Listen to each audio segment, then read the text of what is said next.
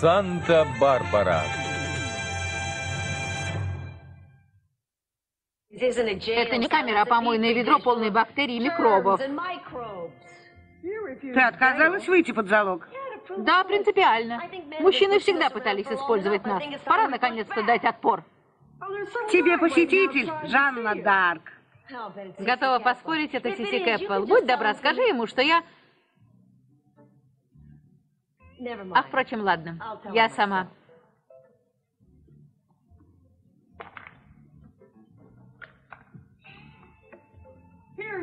Встречай гостей. Извини, но больших мохнатых тараканов здесь Черт. хватает.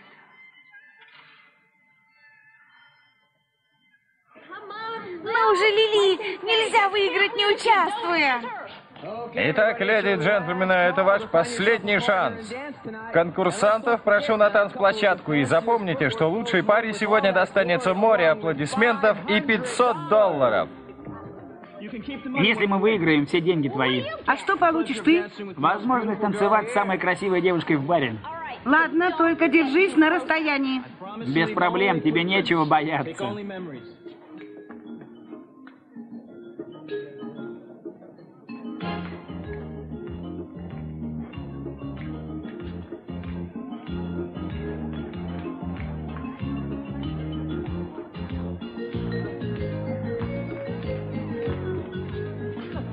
Лили чуть ли не силой его выволокла. О, да, конечно, бедняга Рейв, ему сейчас так плохо. Что происходит? Догадайся сам.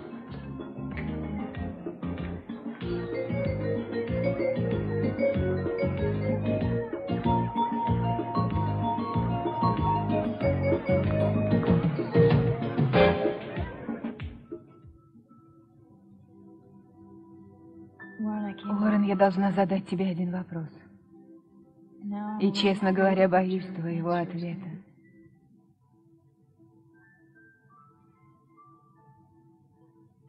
Мы можем начать все сначала. Ты и я.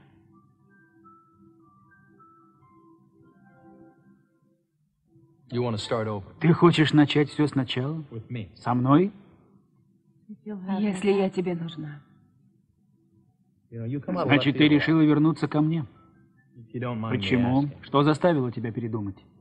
Что? Скажи мне. Моя сестра Мэрилин.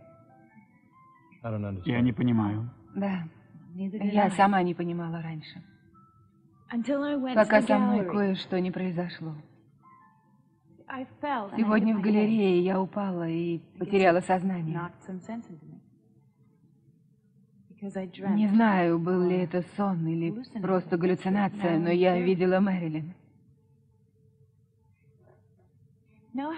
Знаешь, как иногда перед глазами проходит вся жизнь. Так вот, часть моей жизни вернулась ко мне. Та часть, которую я хотела забыть после смерти Мэрилин. Я ждала, что она будет винить меня. Точно так же, как я сама обвиняла себя все эти годы. Но все произошло совсем наоборот. Она сказала, что единственной, кто винил меня все эти годы, была сама я. И что пора простить себя. Я говорил тебе это. Я знаю. Знаю, но я должна была сама это почувствовать. Я должна была избавиться от этого жуткого чувства вины, что терзало меня. И не оставляло места для жизни. И самое главное, для любви. Для тебя, Уоррен. Я чувствую, будто заново родилась. Я снова живу. И впервые за столько лет снова обрела мир в душе. И более того, теперь я знаю, что Мэрилин тоже спит с миром. Потому что весь этот кошмар был лишь А дом моего воображения. Я сама загнала себя в клетку. И теперь могу разрушить ее.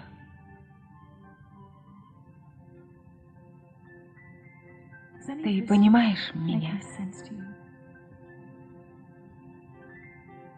Я думаю, что понимаю. Мне кажется, твоя сестра пришла попрощаться. Да?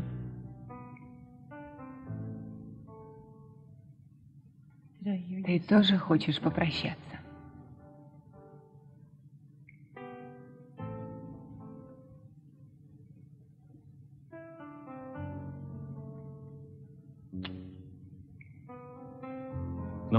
Значит, никаких больше призраков? Нет, с прошлым покончено. Я хочу жить. Добро пожаловать. Знаешь, ты спас мне жизнь. А ты мне. Так что мы квиты.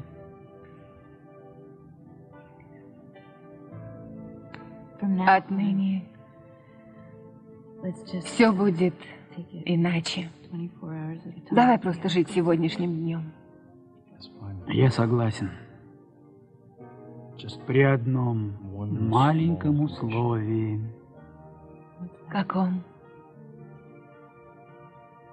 Если ты не будешь наступать мне на ботинок. Спасибо. Зануда. Я знаю, профессор Зануда. Профессор Зануда.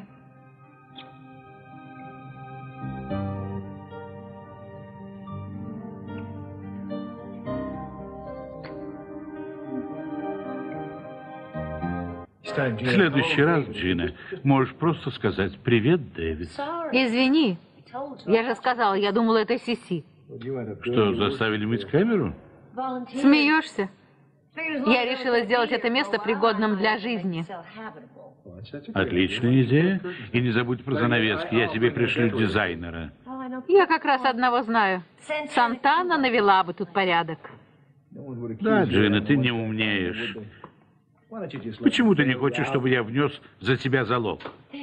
Дэвид, я не уйду отсюда, пока Сиси Кэппелл не принесет мне торт из его акций. А что, если это не случится? Ты можешь провести здесь остаток жизни. Нарушение порядка – серьезное преступление. А как насчет Лайнела? Я уверена, Лайнел как-нибудь справится. Хорошо. А Ченнинг? Ты бьешь ниже пояса, Дэвид. А как же? Меня обливают с головы до ног, и я должен быть честным и милым. Послушай, мы это уже проходили. Я же сказала, я здесь ради Ченнинга. И так просто не сдамся. Не на этот раз. Сиси и так мне всю жизнь испортил. Ладно, я сдаюсь. И правильно, иди домой. Я вообще не знаю, что ты тут делаешь. Ты должен был уже давным-давно сидеть в дорогом ресторане в обществе обворожительных красоток или гулять в смокинге по пляжу. Знаешь, что бы ты ни думала, это не мой стиль жизни. Да уж, наверное. У тебя, скорее всего, и жизни-то никакой нет. Все крутишься вокруг Сиси, улаживая его проблемы. Ты, небось, встаешь в 6 часов утра и ложишься далеко за полночь. Готова поспорить, ты еще даже вещи не распаковал с тех пор, как переехал. Я права? Заказываешь еду на дом и одиноко засыпаешь в кресле перед телевизором. Дэвид Реймонд, это твоя жизнь. И знаешь, я не вижу никакой разницы между ней и моей жизнью в камере. Ну ладно. Охрана! Я, по крайней мере, могу уйти, когда хочу, Джина. Так же, как и ты. Благодарю.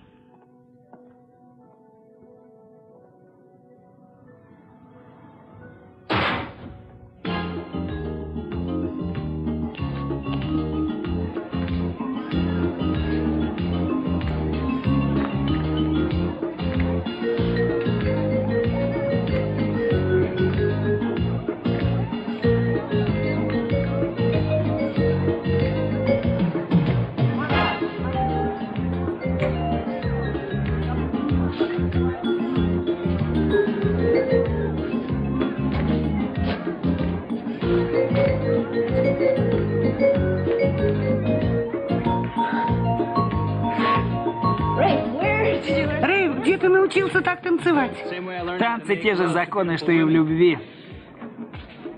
Нужно просто довериться чувствам. Ну и что вы думаете? По-моему, победители определены. Согласны? Отлично. Держите. Спасибо. Ой, ребята, это было здорово! Конечно, это заслуга Рейфа. Рейв, забирай свою долю. Нет, это все твое. Мы же договорились. Но половина твоя. Ничего, мне достаточно победы. О, за 500 долларов ты сможешь купить Теду отличный подарок.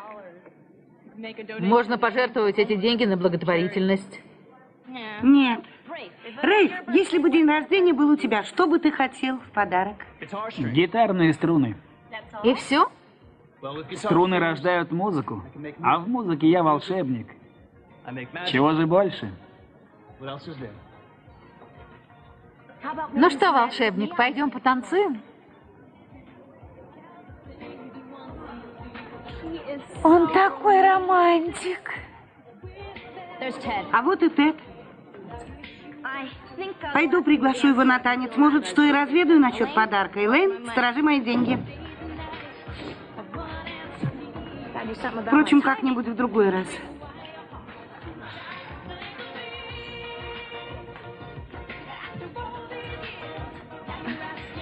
Трой, Что? слушай, ты не мог бы оказать мне одну услугу и заодно заработать несколько баксов? Думаешь, мне нужны деньги? Да брось, кому они не нужны? А это законно? Конечно. Все, что от тебя требуется, это просто написать за меня работу.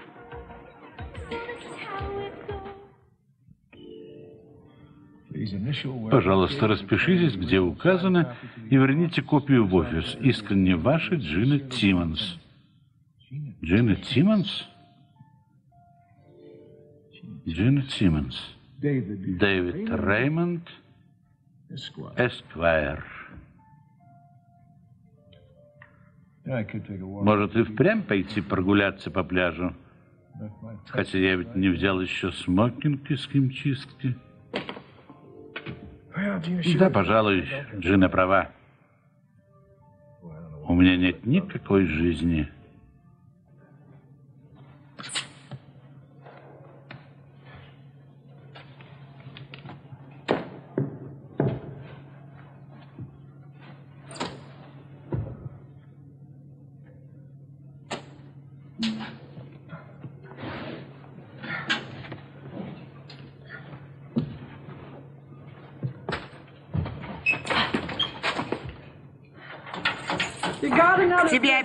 Посетитель. Так поздно? И долго ты собираешься стоять по стойке смирно? По стойке смирно? Слушай, моя мать знает губернатора. Ему стоит позвонить, чтобы покончить с этой несправедливостью. Извини, пол еще не высох. Ой, извини. Зачем ты пришел? Ну, я принес тебе кое-что полезное. Ну-ка, что у нас тут? Сигареты? Да, я знаю, ты не куришь, но ты сможешь обменять их на что-нибудь другое. Еще немного сушеных фруктов, чтобы не было цинги. Да, и я принес тебе мою фотографию, чтобы ты не забыла, как я выгляжу. Спасибо, Лайонел, это очень мило. Как Ченнинг? Он настоящий боец, как и его мать. Он скучает по мне. Да, скучает, он сам мне сказал. У него и зубов-то еще нет. Ну, он это так промычал, сказал, верните, пожалуйста, маму.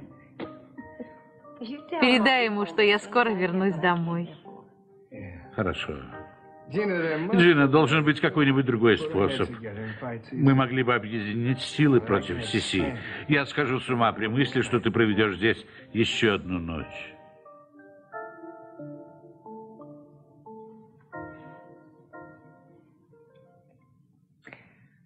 Может, мне снова стать студенткой? Думаю, мне понравился бы этот класс. И учитель. Ха, учитель. Знала бы ты, что думают мои студенты. Я сегодня был просто болваном. Господи, я думал о нас и дал им это задание.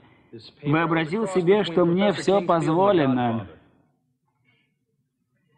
Уверена, завтра об этом никто не вспомнит. О нет, они смышленые. Завтра они придут сюда с юным задором в глазах и будут игнорировать меня. Знаешь, что мы сделаем? Мы пойдем в Винсефер и выпьем пиво. Ты же не любишь пиво. Да, но там обычно тусуются студенты. Пусть они увидят, что я нормальный человек, а не простой, нудный учила. Ты уже и говоришь, как они. Ну, я стараюсь войти в роль. Ладно, пошли, с меня пиво. Идет. Сейчас я только соберусь. А как Кэсси? Не слышал о ней? Нет. Хотя вообще-то да.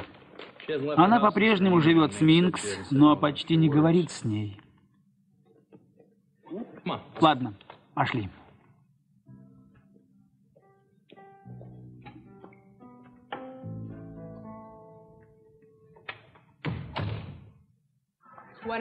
А почему ты сама не напишешь эту работу? Ну, во-первых, у меня нет времени. Во-вторых, это личное. А в-третьих, ты пишешь всяко лучше меня, так что причин у меня достаточно. Но это нечестно. Трой, кто узнает? К тому же мы могли бы провести учителя. Ему ведь и в голову не придет, что две работы написаны одним человеком. Ты мог бы преподать ему хороший урок. И что я получу? Ну, кроме удовлетворения, скажем, 20 баксов. Найди кого-нибудь поглупее. Ладно, 50. Перенеси эту работу на лето. Послушай, Трой, за 50 баксов ты можешь купить себе кучу продуктов. И помимо того, есть здесь бесплатно, когда пожелаешь, если я получу хотя бы четверку. Ты можешь легко получить и пять. Нет, только не я. Профессор Локридж не такой дурак. Пусть это будет обычная, нормальная четверка. Не думаю, что это так уж нормально. Дай мне подумать. Я, может, и хочу есть, но не настолько.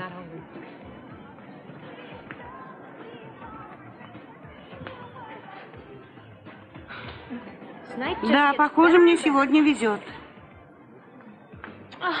Он такой милый. Обожаю мужчин, любящих поесть. Ну разве он не прелесть, Лили? Да, просто прекрасный принц. Подожди, послушай. Я не знаю, что нашло на моего отца, но он хочет, чтобы кто-нибудь нарисовал семейный портрет. И он поручил мне найти хорошего художника, который бы смог запечатлеть клан Капвеллов во всем его блеске. Похоже, тебя это не очень-то радует. Да нет, это отличная мысль, семейный портрет. Просто обычно такими вещами занималась Келли, но сейчас у нее этот проект в Карибском море, так что все приходится делать мне. Тогда почему бы тебе не спросить Сьюзен? Думаю, она с радостью бы нарисовала вас, она настоящая художница. Да, я знаю. Она, конечно, очень популярна здесь, в Санта-Барбаре. Но отец ищет кого-нибудь более, как бы это сказать, известного. Извините, конечно, я недостойна.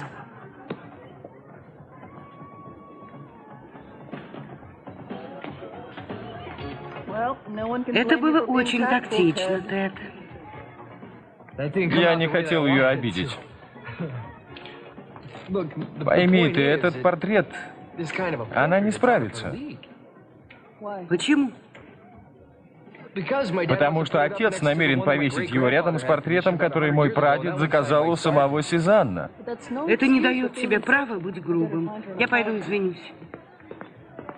Что, милые бронятся? Да, постоянно. Пока Катрин нет, я хотела тебя предупредить насчет кое-кого.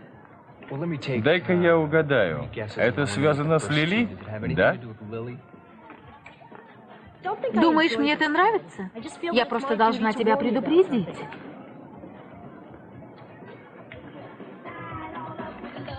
Я остаюсь здесь, Лайонел, до тех пор, пока мой сын не станет принцем финансовой империи Сиси. Такая преданность встречается редко в наши дни, Джимми. Ченнингу очень повезло. Будем держать связь, возьми это. Спасибо. Передай Ченнингу, что я его люблю. Да, и еще вот что. Специальной доставкой. Хорошо. Приятных снов, Джина. Твоими бы устами. Что это? Это для твоей соседки. Соседки? Что ж, надеюсь, она хотя бы не грязнуля. Ты это придумала? Нет. Лили даже твою фотографию прилепила на дверцу в шкафчике. У нее там прямо настоящий алтарь. Я должен быть польщен? Меня бы на твоем месте это беспокоило.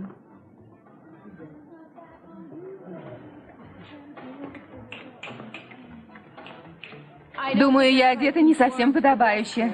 Все нормально, поверь мне. Просто будь собой, не бойся. Мистер Локридж, пришли проверить, как мы делаем домашнее задание? Не познакомите со своей спутницей? Да, конечно. Это Энджела, это Лиза, Элейн и... Рейв, Рейв. они с Лили только что выиграли главный приз. Серьезно? Надо же. Что ж, чудесное местечко. Принести вам что-нибудь из бара? Да, мне содовую, пожалуйста. Хорошо.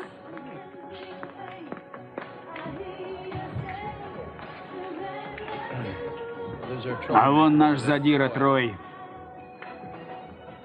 Выглядит очаровательно. Он как заноза в одном месте. Лили? Лили, Лили, Лили. У тебя будет перерыв? Да, в общем, скоро. А что? Ну, я хотел пригласить тебя прогуляться со мной по пляжу. Так ты сводный брат Круза, верно? Рафаэль мой отец, а мать Изабелла Сегунда. Понятно. Знаешь, я фотографировал ее для журнала Life. Да, я помню. На том снимке она держит буханку хлеба и большой букет роз. Вы сделали ее звездой, профессор. Я просто показал ее миру. Всего остального она добилась сама. Точно. А, Трой, как поживаешь? Как поживаешь? В смысле, как делишки, приятель? А еще говорят, студенты невоспитанные. Здорово поживаю, просто улет. Я поняла, о чем ты говорил. Он ненавидит тебя просто за то, что ты есть. Мы едва знакомы. Обычно меня начинают ненавидеть как минимум через неделю. Ничего, просто момент неудачный. Думаю, он был бы о тебе другого мнения, если бы знал, каким милым ты можешь быть. Думаю, смогу тебе помочь. В этом нет необходимости, Энджела. Энджела,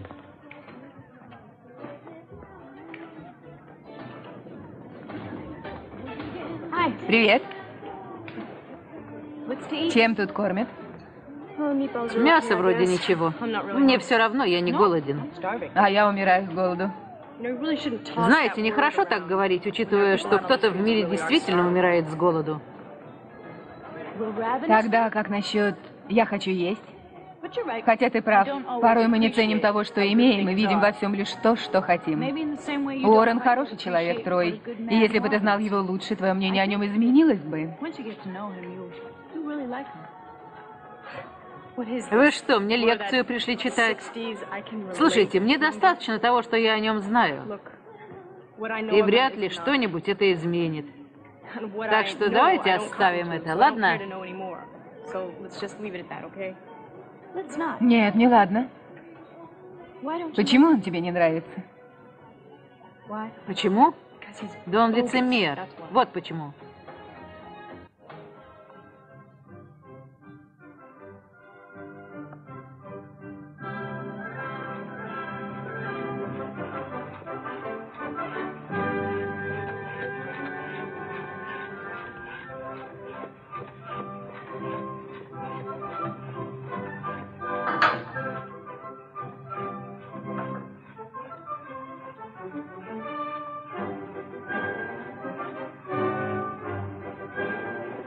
Джина, Не сейчас, Дэвид. Мне нужно поддерживать себя в форме.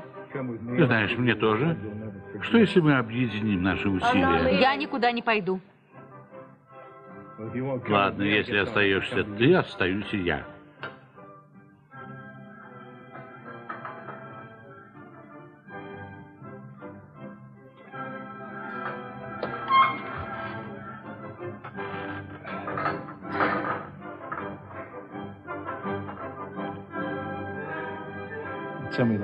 Просто представь, что я твой личный тренер. Дэвид. Да.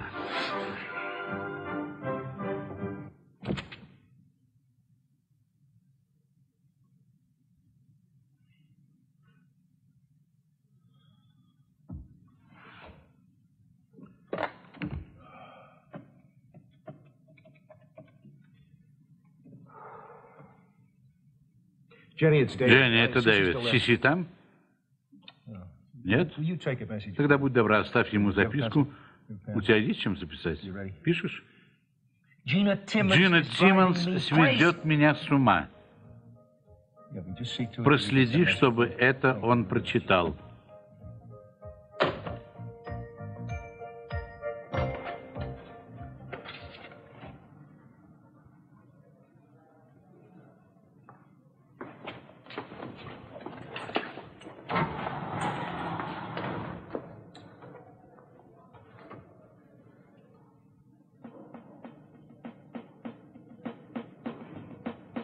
Дом, милый дом. Привет, красотка. Привет. Тебе придется освободить эту койку киса, а то у меня страх высоты. Какое совпадение. Я как раз собиралась это сделать.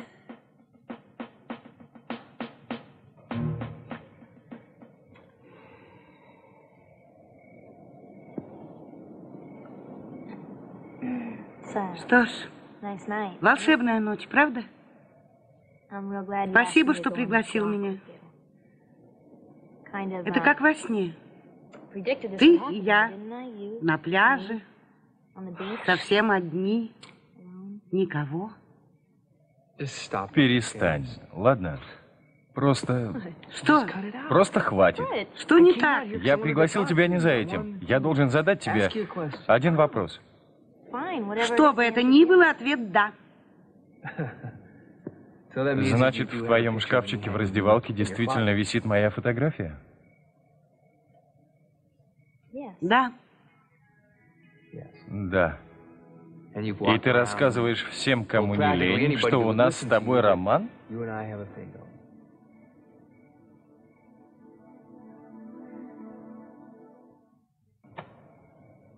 Зачем мне что-то рассказывать?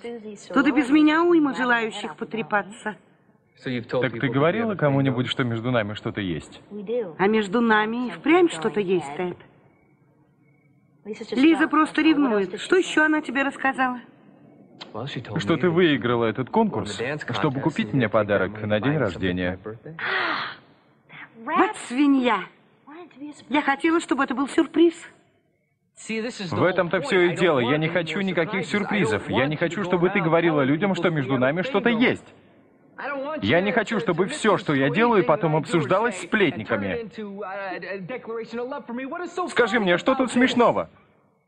Я просто пригласил тебя прогуляться по берегу, а ты уже превращаешь это в тысячу и одну ночь. Но, Тед, разве это не романтично? Нет, Разговоры под луной, нет. шорох прибоя. Ты меня сведешь с ума. Это хорошо. Знаешь, так нельзя. Так просто нельзя. Хватит.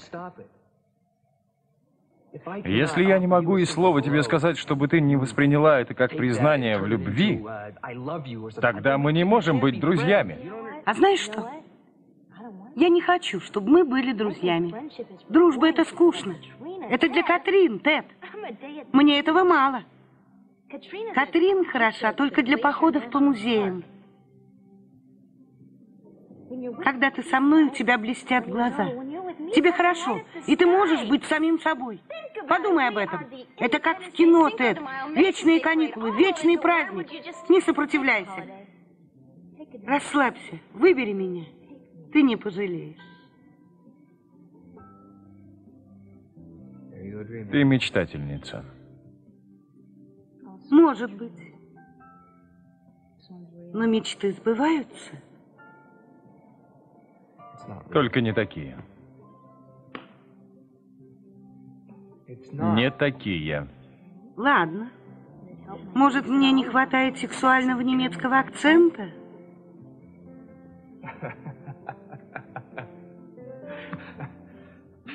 Что ты смеешься? Ничего, ты всегда меня смешишь. Я знаю. Рожденная, чтобы смеяться, в мире, где все позабыли про смех. Ладно, пойдем.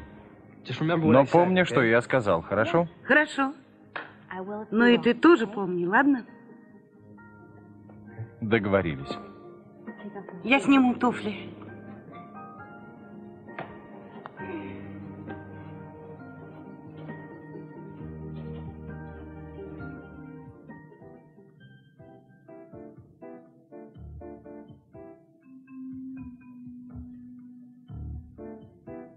Если ты здесь не впервые, то знаешь, что курить в камере запрещено.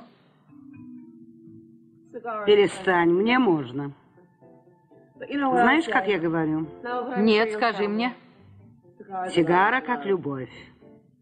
Ты можешь ее потушить или зажечь опять, но у нее всегда разный вкус. Эй, эй, эй, я только что вымыла пол. Уймись. Какая проблема? Что ты так разлаялась о каких-то пустяках? Пустяка, как же. Что ты говоришь? Эй, а ты мне нравишься. В тебе есть порода. Как тебя кличут? Джина. Очень приятно. Эннабелл. Мои первые трое мужей звали меня Энни. Четвертый называл кобылой. Но ему недолго пришлось так шутить. А девочки зовут Газ. Девочки? Ну да, девочки, подружки, подельницы. Да, пойду-ка я спать, уже пора. Помочь? Нет, Энни, спасибо, я лучше сама. Зови меня Газ. Газ. Спокойной ночи. Не возражаешь, если мы присядем? Это свободная страна. Знаешь, я подумал, может, мы могли бы поговорить и уладить нашу проблему, а? А в чем проблема? В том, что я думаю, что вы лицемер и фальшивка? Нет в том, что я думаю, что ты эгоистичный маленький червяк. Трой, ты любишь спагетти? Что? Ты любишь спагетти? Да, что?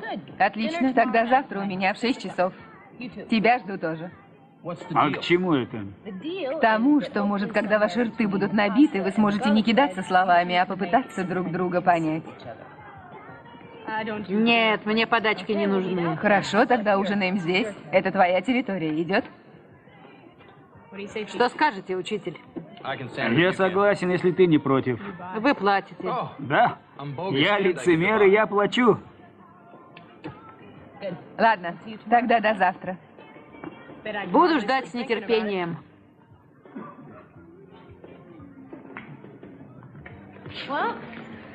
Ну, спасибо за прогулку. Лили, только не делай из этого роман. А кто мне помешает?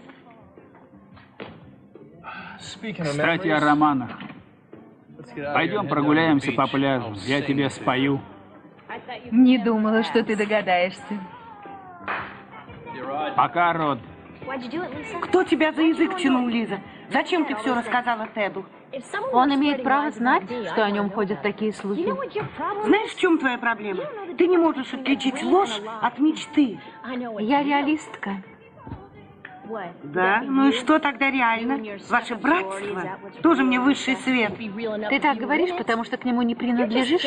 Ты всегда завидовала нам, потому что тебя не взяли. У меня для тебя новость, Лиза.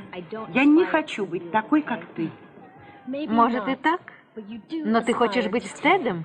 И нравится тебе или нет, а наш мир ему куда ближе, чем твой. Лиза, он не такой. Это во-первых.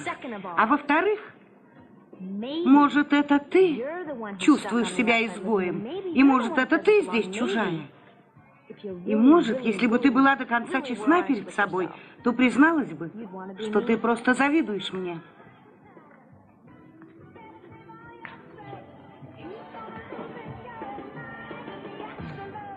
Я хочу извиниться. Ты талантливая художница. О, Тед, брось, не стоит.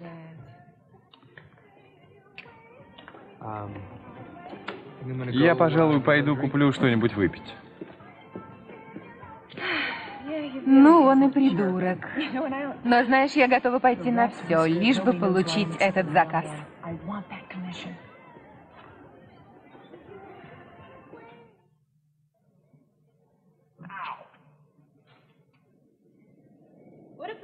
Странный он тип, этот Трой. Интересно, откуда в нем столько злости? Уж не знаю, но исправляться он не собирается. Все нормально? Как ты себя чувствуешь? Великолепно. Странно, не правда ли? Я проснулась утром, думая, что жизнь кончена, а сейчас такое чувство, будто она еще только началась. Да, я тоже чувствовал себя паршиво в эти дни. Чему? Ну, я думал, что потерял тебя. Что это? Значок. Мне дала его Элейн, одна из моих студенток. И что там написано? Тут написано «Приколись». Вот я его и приколол к тебе. Значит, отныне мы неразлучны? Нет, нет. Это просто значит, что отныне мы можем когда угодно и совершенно законно прикалываться над кем захотим.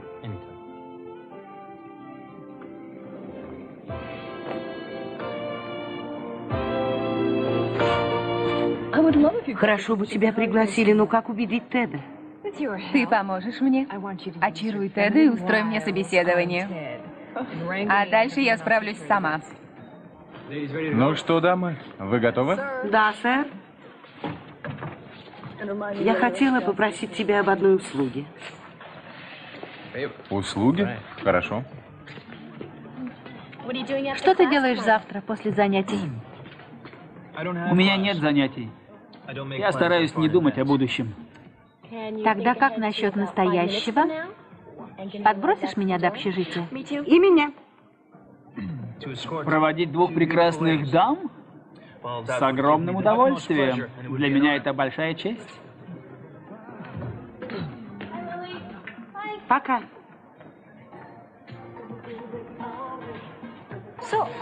Ну, ты подумал о моем предложении?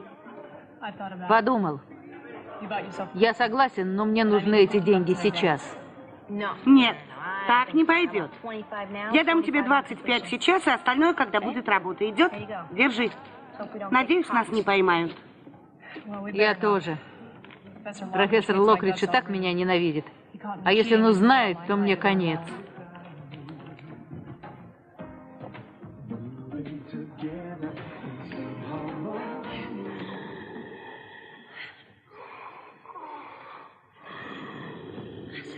Звук, как от стада бизонов.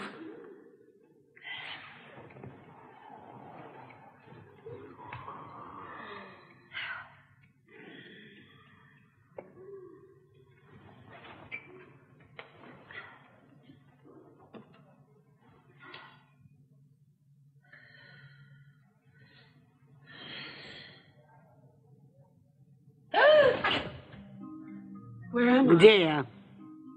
В раю, разуй глаза. Наверное, ходила во сне. Со мной такое иногда случается, и не только такое. Представляю. Так значит, ты была замужем четыре раза? Да, видно, до меня медленно доходит. Не до тебя одной. Ну и что ты поняла? Что мужчины мне не нужны. Спокойной ночи.